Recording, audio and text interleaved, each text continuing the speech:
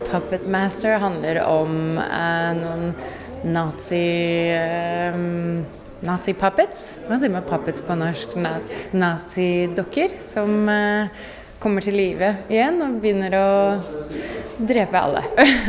Nei, det er en historie om en, en, mann som heter Edgar, og han skriver komikk.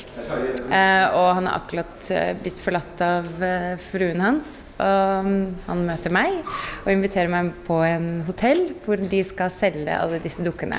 Disse puppets, da. Som ble laget i annen verdenskrig av en mann som heter André Toulon. Eh, som ville lage disse dukkene fordi han syntes det var en lett måte å komme inn og drepe alle de som naziene ville drepe. Uh, så kommer alle disse folk, menneskene som vil selge disse dukkene på hotellet, og plutselig kommer de til live igjen og begynner å drepe alle. Så det er litt sånn sinnssyk film, men det var uh, gøy opplevelse i hvert fall å være med på den.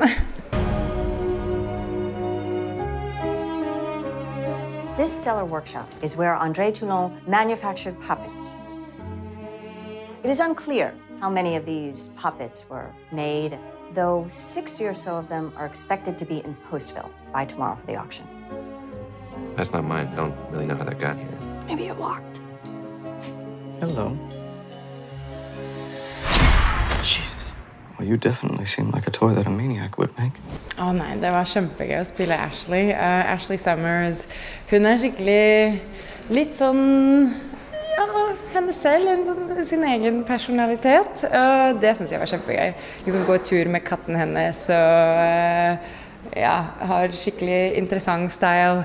Um, men altså, hun går fra det til plutselig liksom badass. Uh, så det var jævlig gøy. Ja, det var veldig gøy. What the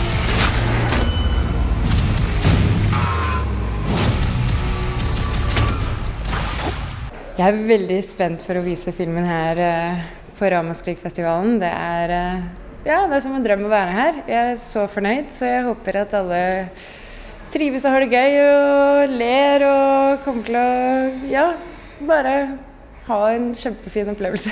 Vi får se. Jeg er litt nervøs, men det blir gøy.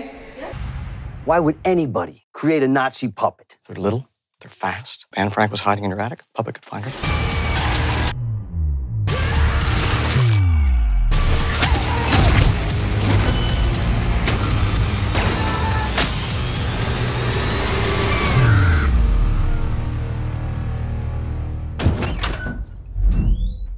Don't ask, don't ask.